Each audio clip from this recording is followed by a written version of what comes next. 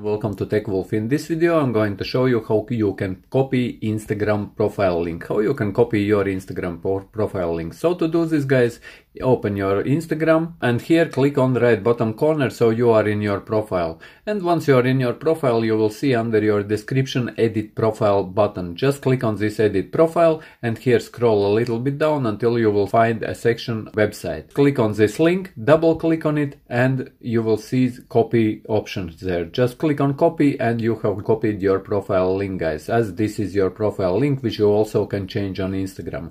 So yes guys I hope that you found this video useful and if you did leave a like, share this video, subscribe to my channel if you are new and see you in the next one.